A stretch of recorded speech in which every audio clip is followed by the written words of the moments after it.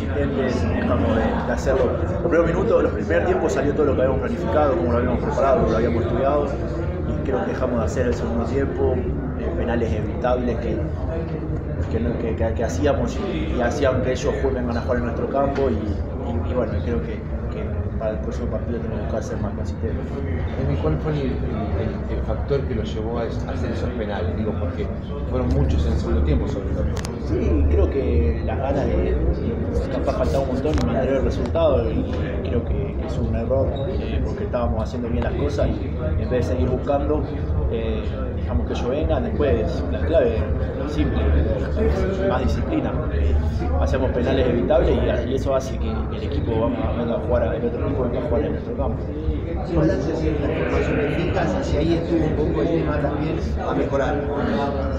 Eh, yo creo que el primer tiempo fue bueno, sacamos muchos penales. Hasta la mitad del segundo tiempo también.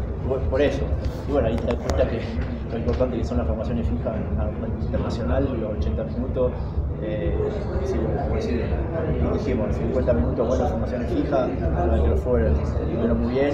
Y después, bueno, obviamente otros equipos juegan, tienen un banco también que entra y son fuertes eh, y, bueno, obviamente eso lo, sentí un poco, pero no, creo que el balance en general fue bueno.